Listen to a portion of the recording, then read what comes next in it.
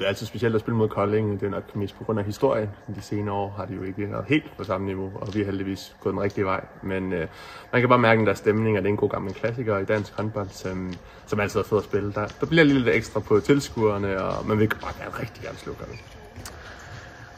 Er der så øh, flæskesteg på menuen på tirsdag?